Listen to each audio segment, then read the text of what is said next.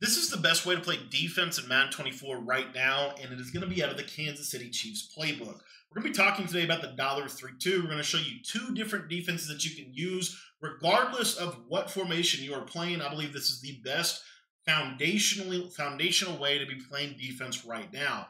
If you want to get an updated version of what we're doing out of dollar and really what we're doing entirely um, defensively right now, join the Patreon. We update all the ebooks, everything to keep you on top of stuff. If you're not a member, it's only 10 bucks and it will get you access to everything. Super in-depth breakdowns over there trying to teach you guys how to be better Madden players, whether it be offensively or defensively. You get everything for just $10. So if you're not a member yet, join. Uh, the link is going to be down in the description below. So what are we doing defensively to get stops? Arguably this is the most offensive Madden I've ever seen. It's actually more offensive than uh, Madden 22 was. We thought that was the most offensive Madden in history.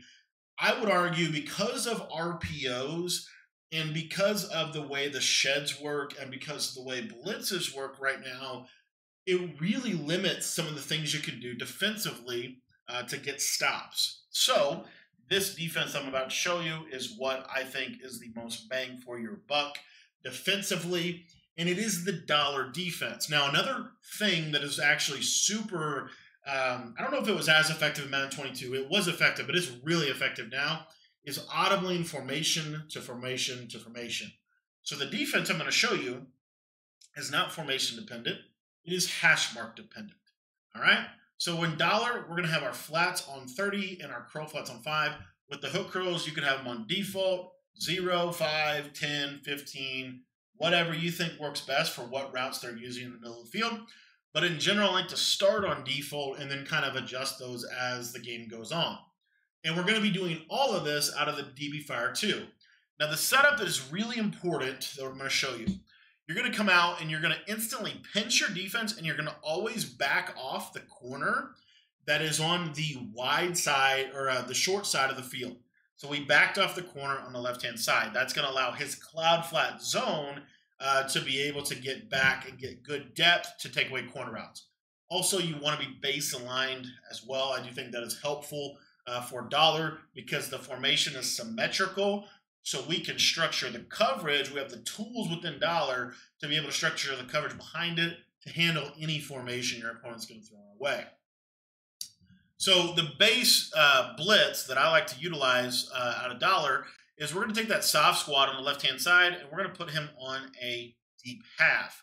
Then we're going to purple both of our safeties here. Uh, or I'm sorry, not both of our safeties. We're going to purple one of our safeties. And then we're going to roll the coverage like so. So you see this is the base kind of send five coverage that I like to use. The reason we like this is because it looks like Mabel coverage to the naked eye, but with this curl flat coming from the safeties, if they try to throw to the flat, he actually shoots down a lot better than he has in years past, and he's able to stop that route. If you want to absolutely blanket any kind of quick throw flat, then what you want to do is you want to put your curl flats on zero, and they will completely blanket the, the route.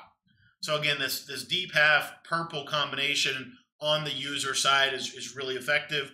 And then you want to always, in my opinion, defensively this year, you always want to user the short side of the field, at least if you are playing compression. If you're playing a spread set like trips tight end, then maybe not. But in general, I really like to user the compression side because I feel like that's where my user is most helpful. And honestly, that's where zones are the worst, ironically, um, is to the short side against compression. So again, the basic uh, concept here is this. You, you might think, what about a seam streak? So let's use a seam streak here. We're going to kind of user that, but if I just throw that, if I try to throw that seam, that deep half is kind of biting inward, and he'll be able to take that away. then my, my user is going to lurk the crosser. So that's kind of the base blitz concept out of this. We're going to send five. We're going to typically get one free if they don't uh, if they don't block a running back or a tight end. And then if we want to send six, I'll show you a really fun little send six you're going to basically just do the deep half and the purples on both sides.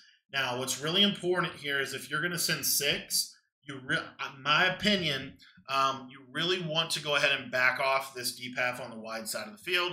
Otherwise, he will get seam streaked to death. Now, another little tip that you can have that I'll give you is we could actually go ahead and we could leave this flat zone that he's on because when you press, even if they're dropped back at 30 yards, they're still not going. Their momentum is not going to be able to get back far enough. So you could go with something like that. Um, or another thing you could do is you could deep half here, and then you could man up that slot receiver and now user. But the basic thing we want to get accomplished here is we just we just want to uh, try to essentially take away the the quick throws to the flats and force them to throw the ball in the middle of the field. And again, you see those purples will bite down significantly. I don't recommend sending six all the time. I'm just saying you send six, you get pressure um, at a dollar if they're blocking a running back and if you're baseline pressed. Uh, and I like to pinch my defense at a dollar for a lot of reasons, but we'll leave it at just the fact that it kind of cleans up the blitz angles for you. The last little portion of this is the coverage aspect. So what we're going to do from a coverage aspect is we are just going to blitz our user. We're going to stand right over the center just like this. And then we already backed off that that that uh, corner on the left. So now we're going to put both nickel corners or slot corners on purples. And then on the right-hand side, really important, we are going to outside quarter and inside quarter that right side of the screen. What this is going to do is because Madden is based off of a grid system, if they try to run a streak and a corner route to the wide side, they're not going to be able to do that. Another very popular route combination is the slant post concept with maybe a post over the top. If you watch how this play works, I'm going to lurk the slant here, and then I'm going to pass him off. And you see how that cur curl flat will do a really good job. And then we're able to take away one of the most popular route combinations in the entire game. This defense will stop a lot of what people like to do.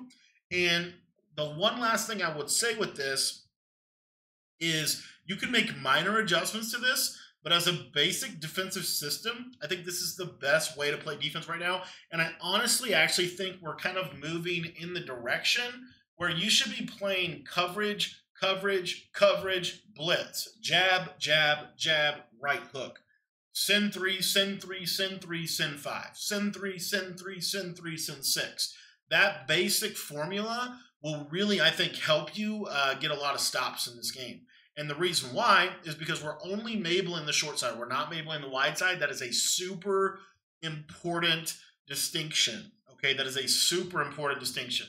Now, uh, I'll show you some other cool stuff here in just a second. What we can do with send four at a dollar, but dollar is good because of the fact that a it's symmetrical, b it gives you the best send five in the game, and c you can do a lot of different things with these slot corners. So one of the other things I wanted to show you is um is what we can do here on the wide side. So we can mabel this left hand side. That's the flat, and then we have this basic kind of look right here. And what we'll do is we'll actually put this linebacker on a purple zone.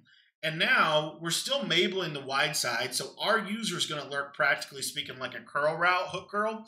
But now when you send four, sometimes the send four out of dollar actually comes in. So you have a pressure plan where we're sending three, we're sending four, we're sending five, we're sending six. But then we also have different types of covered shells uh, that we can do behind it. So with that in mind, I think this makes dollar truly the best defense in the game right now. If you want to get in my entire updated dollar stuff everything that i'm doing out of dollar join the patreon today. It's only $10 it gives you everything that i run why i run it uh, the best way to run it everything you need uh, to be successful. Mad 24 i think is the most mad offensive madden i've ever played so having um, a bend but don't break defense like what we're showing you here is really the key uh, to playing good defense. And it is in a game where it's more offensive than it's ever been. I will say it's actually kind of harder, in my opinion, to score in the red zone